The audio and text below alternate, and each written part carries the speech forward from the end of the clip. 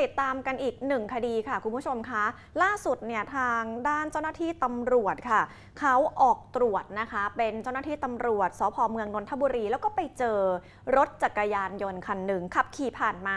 ลักษณะของผู้ขับขี่เหมือนคนติดยาค่ะ คุณผู้ชม เขาสังเกตเห็นได้แบบนั้นก่อนที่จะมีการเรียกตรวจพอเรียกตรวจเสร็จเนี่ยก็ได้กลิ่นยาเสพติดด้วยนะคะ แล้วก็เลยไปค้นห้องค่ะ สุดท้ายไปค้นห้องก็ไปเจอว่าแอบซุกยาบ้าเอาไว้ถึง 200,000 เม็ดสุดท้ายยอมรับสารภาพนะ บอกว่ามีการรับจ้างขนยาเสพติดได้เงินครั้งละ 50,000 บาทค่ะ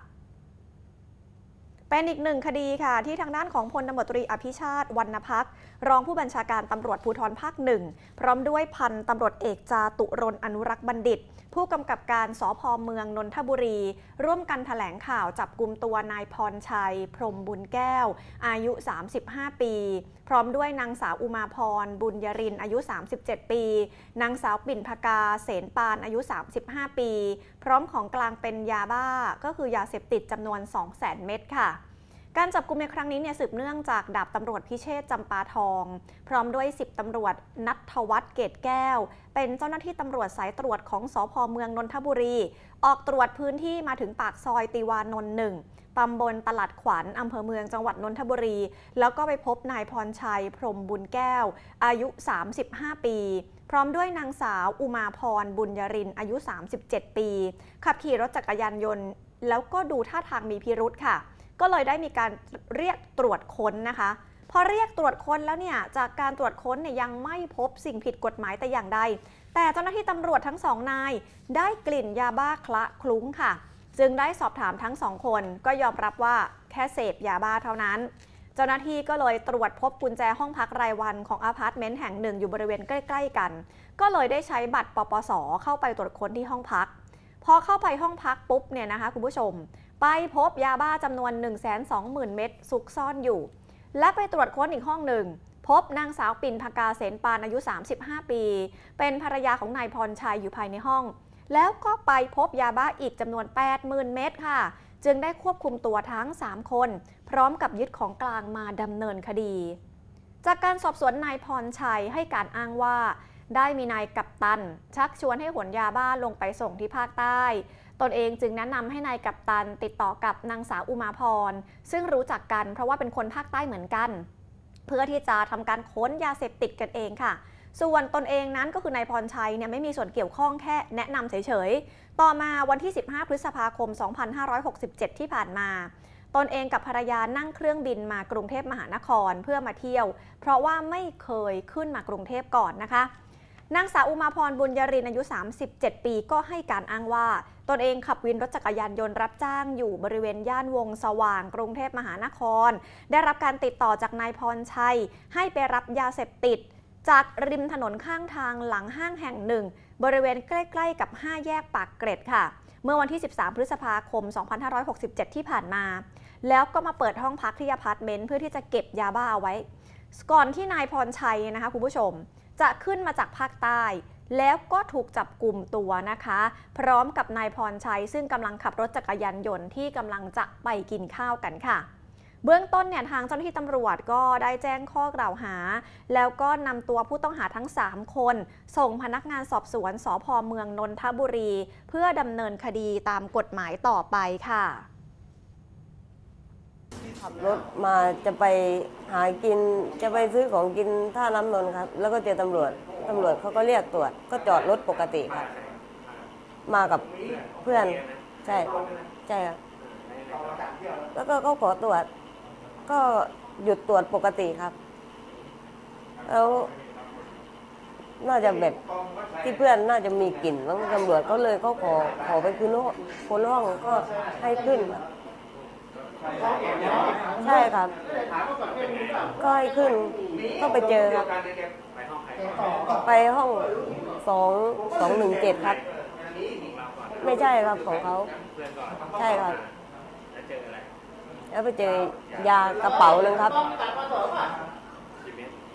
ไม่รู้ ไม่รู้ แล้วก็พอพามานั่งที่รถ แล้วก็เขาไปค้นค้นห้องเราที่น้องเขาอยู่อะอ่าก็ไปเจออีกกระเป๋าหนึ่งครับ ไม่รู้ครับ ก็เพื่อนบอกให้ช่วยกัน คือ เขาบอกให้เราเปิดห้องไว้ เราก็เปิดก็เพื่อนกันแล้วพอเปิดนั้นเราก็ไม่รู้หรอกว่ามันเป็นยา ก็เขาว่านจางว่ากล้าจ้างให้ไปแบบไปเอาของอะไรแบบเนี้ย แต่เราไม่รู้ว่าข้างในนั้นคืออะไร เพราะเราไม่ได้แกะดูครับ อะไรนะครับ ครั้งแรกครับ อันนี้เพื่อนตั้งแต่ตอนเด็กเลยครับข้างบ้านกัน แล้วเราวันห่างกับเขาวันก็คือหลายปีแล้ว แล้วที่ได้ห่างกัน เพราะเราวันออก ออกจากบ้านที่เขาอยู่กันหมู่บ้านนั้น ออกมาหางานทำแถวสงขลาแถวน้ำหม่อมครับ แล้วก็มาขับวินกรุงเทพครับ เนี่ยเจอกันครั้งแรก ไม่เคยครับ นอกจากการพนันไม่รู้ครับ แล้วก็ไม่เล่นด้วย ครับบุหรี่ก็ไม่ดูดครับ ก็มากับเพื่อนครับ ใช่ครับ ใช่ครับ ถามแต่เขาไม่ตอบ ราะว่าที่เขาเขาไม่ตอบอะเขาบอกว่าก็แค่ไปรับแล้วก็เอามาเปิดห้อง เออ เปิดห้องรอ เดี๋ยวลงมาจากกูมาหามึงก็เดี๋ยวกูก็ค่อยเอากลับไปเอง ใช้ใช้ไปซ่อมรถครับ แล้วก็สั่งดอกไม้ให้แม่ขายมาลัยที่บ้านครับ แล้วก็ซื้อกินปกติครับ รู้สึกจะเป็นวันที่ 14 หรือวันที่ 13จำไม่ได้นะครับ ใช่ครับผม เพราะเราไม่รู้ว่ามันเป็นอะไร เราก็ไม่ได้แกะดู ก็เขาบอกว่าเราอะต้องไม่ใช่อันนั้นแล้วทีนี้เราก็ เขาบอกว่าเปิดห้องสำรองจ่ายเงินไปก่อนแล้วเดี๋ยวเขาขึ้นมาเขาเอาให้คือต่อห้องให้เขาก่อน เราก็มาต่อครับอ่าแล้วพอมามาถึงมาเจอกันเขาก็บอกว่าเปิดอีกห้องหนึ่งไหมเออ ได้นอนได้คุยกัน เพราะว่าห้องนึงนั้นก็อยู่สองคนดังนั้นเลยเปิดเปิดไปห้องหนึ่ง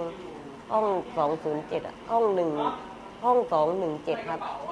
อืมไปยิบไปนี่ยิบบ้านนี่ไปไปตกลงไปตายได้มั้งกับผมว่าผมรู้จักเนี่ยปีต้มนี้เป็นในบ้านผมมาทำงานกรุงเทพก็ทีนี้ผมว่าก็เอาอย่างเบื่อไปกับผมว่าอย่างกับผมว่าก็เบื่อไปก็ตัวกันเอง เลยก็ว่าแรกผมว่าว่ายังอาเบิ้นแต่ผมมันกินต้องเบิ้นผมมันเป็นใจเรียเบอร์โตใช่ไหมคือจังปีโตปีละเบิ้นทีนี้กับกับตึ้งตีว่างไหนหยิบตรงไหนคือก็ตัวกันเองผมไม่ได้รู้ตรงนั้นครับเราประสานเบอร์ให้ครับผมมาด้านเบื่อครับอันนี้ความจริงแต่ว่าเวลาผมต้องบอกกับตันคือคนนั้นผมไม่ได้รู้จริงๆครับเพราะมันเป็นตีตัวกรรมมาข้างผม แล้วคนที่ชื่อกับตันเนี่ยเรารู้จักกับเขาไหมไม่ครับ ไม่รู้จัก ไม่รู้ตัวตนครับ แล้วเขามีเขามีเบอร์โทรเราได้ไงเหมื่อนเบอร์นี่คือพระมงการนี่เบอร์มันน้อยหน่ายใช่ไหมคือพวกเรียนเล่นยาเนี่ยดีแต่คนโน้นนี่บางทีปุ้มมันไม่ในใจบางทีอาจจะอยู่เก๋ปุ้มแต่ปุ้มไม่รู้ก็ได้ว่าอาจจะอยู่กับตันใช่ไหมแล้วที่เราขึ้นมาเราขึ้นมากรุงเทพเนี่ยมาทำอะไรขึ้นมาตรงนี้เพราะว่าผมมันใหญ่บางเต็มไม่เคยมาที่ในการตัวนึงคือตีให้เบอร์ปีต้มเนี่ยไปรอเบียร์ก็ไม่ได้เวิร์นที่ซึ่ง ผมเลยขึ้นมาข้างมันครับเขาไม่ได้ตีกับตันนั้นไม่ได้จ่ายมาตีหันได้ใช่ไหมแต่เป็นแบบว่าผมมาปีต้มนี้ที่ว่าผมแล้วเบอร์เอาไปซึ่งมันยังไม่ได้เบียร์ตัวเรื่อยๆใช่ไหมครับซึ่งผมเชื่อผมมาเที่ยวกันอืมผมกลางเด็กที่มากรุงเทพครับขึ้นมาเที่ยวครับ ตอนอยู่ใต้เราทำอาชีพอะไรที่จ้างครับกรีดยางสองคนผัวเมียครับที่พอผมอยู่ทำให้เดียวพอต่อผมอยู่ยกกันน้ำอยู่กำมันพออยู่กับเมียครับอ่า ผมกับน้องคู่ตรวจนะครับ ออกตรวจเส้นติวานนท์อ่าผ่านซอยติวานนท์หนึ่งก็เห็นผู้ต้องหาซ้อนมอเตอร์ไซค์กับผู้ต้องหาที่หนึ่งซ้อนมอเตอร์ไซค์ผ่านไป ลักษณะเขาเหมือนคนติดยาอาการอาการออกว่าดีดก็เลยขับตามน้องก็ขับตาม ขับตามไปยูเทิร์นตรงกสิกรแล้วก็มาจอดตรงตรงข้ามติวานนท์หนึ่งนะครับ แล้วขอทำการตรวจค้น ซึ่งพอขอทำการตรวจค้นตัวเขาอะคือตัวเขาจะมีกลิ่นยาแรงมาก กินยาเสพติดนะฮะก็สอบถามเขาเขาก็บอกเพิ่งเสพมาเสพมาสี่ห้าเม็ดอ่าแล้วก็ถามว่าแล้วมียาเหลืออีกไหมอ่าเขาก็บอกว่ามีเหลือที่ห้องอีกนิดหน่อย ที่ห้องที่ราชาเมนชั่นซอยติวานนท์ก็เขาก็นำไป ผมก็แจ้งผู้บังคับบัญชาทราบอาพอไปถึงที่ตึกอะถึงที่ตึกอะตอนแรกเขาก็ไม่ยอมเข้า ก็ผิดสังเกต ก็เลยผู้บัญชาก็เลยแจ้งทางผู้กำกับสืบสืพื่อใช้บัตรปสเพื่อขอเข้าก็พอเข้าไปที่ห้อง217ก็เจอยาเสพติดจำนวนหนึ่งแสนสองหมื่นเมตร แล้วก็ขยายผลไปที่ห้อง237พบยาเสพติดอีก80,000เมตร